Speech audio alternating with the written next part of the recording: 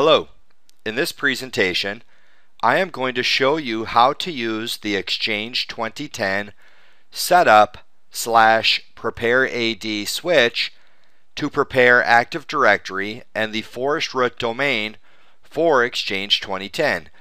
In this particular presentation, we are also going to set the Exchange organization name of our Exchange organization, which exists one time per Active Directory forest, and this prepares the forest root domain.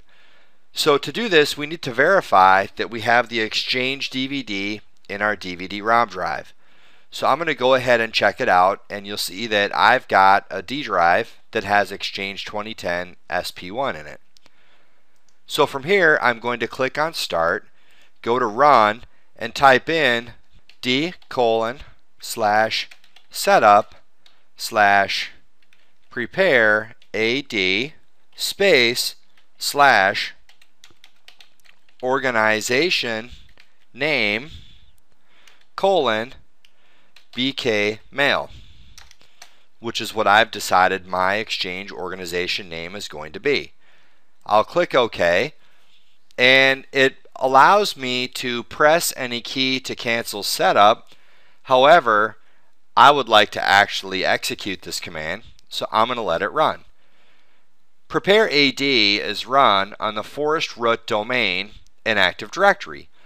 All other domains that are going to contain Exchange servers or Exchange recipients need to run the setup slash prepare domain switch. This takes a little time, so I'm going to fast forward, but still allow you to watch everything that's happening.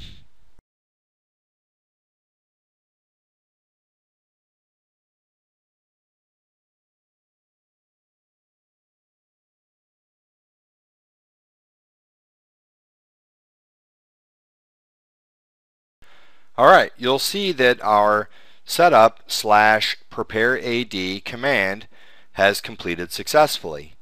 And this concludes my presentation on how to run setup slash prepare AD slash organization name colon and then the exchange organization name that you are creating. This is brickhouselabs.com and thank you for watching.